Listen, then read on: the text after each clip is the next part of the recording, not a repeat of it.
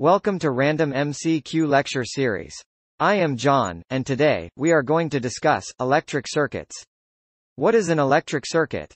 An electric circuit is an interconnection of simple electrical devices that have at least one closed path in which current may flow. The ideal circuit elements are the resistor, the inductor, the capacitor, and the voltage and current sources. This means that any complex electrical or electronic circuit can be modeled by a combination of these circuit elements. Electric circuits are the most fundamental structures of electrical engineering. It is important in electrical engineering because, they process electrical signals, which carry energy and information. To understand electric circuits, one must understand the basic concepts of the electric parameters, like charges, voltage and current. A charge is responsible for an electric field and charges exert forces on each other. A charges could either be a positive charge, or a negative charge. Like charges repel, whereas unlike charges attract. Electric charge, and its movement, are the most basic items of interest in electrical engineering. Charges in motion results to electric current. For the charge in motion to become an electric current, there must be a path through which it can flow easily by the movement of electrons. Materials through which charge flows readily recalled conductors. Examples include most metals, such as silver, gold, copper, and aluminum. Copper is used extensively in the fabrication of electrical wires. Insulators are materials that do not allow charge to move easily. Examples include glass, plastic, ceramics, and rubber. Semiconductors re materials whose properties lie between conductors and insulators, and have a moderate resistance to the flow of charge. Examples include silicon, germanium, and gallium arsenide. What is current? The rate of movement of net positive charge per unit of time through a cross-section of a conductor is known as current. The SI unit of current is the ampere A, which represents 1 coulomb per second. In metallic conductors, such as copper wires, current is the movement of free electrons in the wire. What is electric potential and voltage? Electric potential refers to the potential energy that a charge at a given point possess, when acted upon by an electric force. The point where electric potential is zero is known as the reference point or ground point, with respect to which potentials at other points are then described.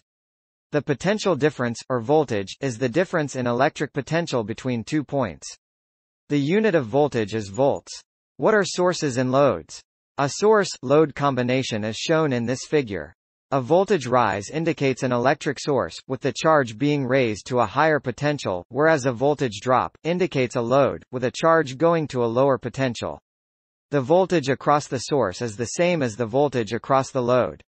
The current delivered by the source goes through the load. What is a resistor? A resistor is one of the most commonly used components in electronics.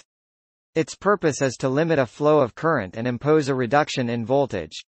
It consists of two wires or conductors attached at opposite ends or sides of a material. What is resistance? Resistance is the property of the resistor that describes its ability to oppose current. The resistance of a resistor depends on the type of material, the length of the material and its cross-sectional area. This can be represented by the formula R is equal to resistivity, ρ multiplied by length, L and divided by the cross-sectional area, A. The longer the material is, the higher is the resistance and the bigger the cross-sectional area, the lower the resistance. The resistivity of different materials are given as follows. In this table, carbon is the most resistive element and copper is the least resistive. This is the schematic symbol of the resistor and the unit of resistance is ohms and uses the symbol omega. A capacitor consists of two conductors separated by an insulator. The capacitor has two spaced conducting plates that can be rectangular, as shown, but that often are circular.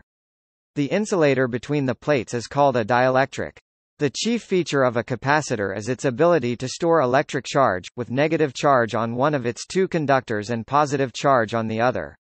This is the common schematic symbol of a capacitor.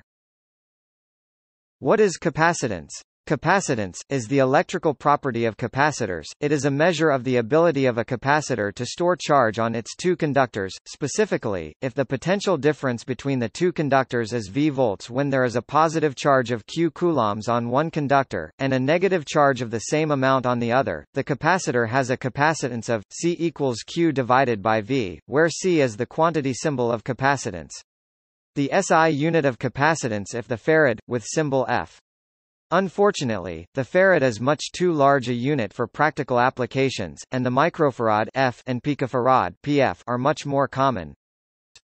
What is an inductor? An inductor, is a passive electronic component, which is capable of storing electrical energy, in the form of magnetic energy. Basically, it is a conductor that is wound into a coil, and when electricity flows into it, this will generate a magnetic field. What is inductance?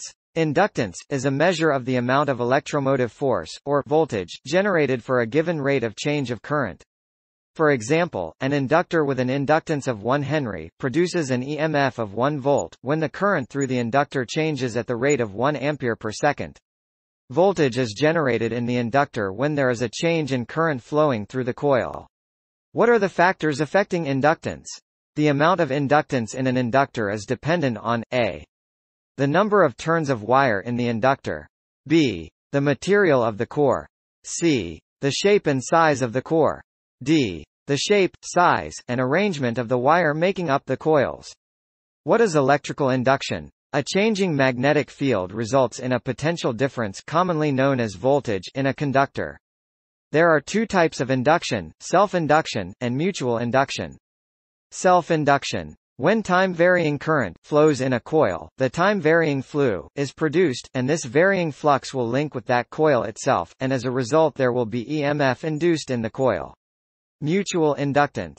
When time-varying current flows in a coil, it produces time-varying flux, as we have already told. This time-varying flux, may link with another nearby coil.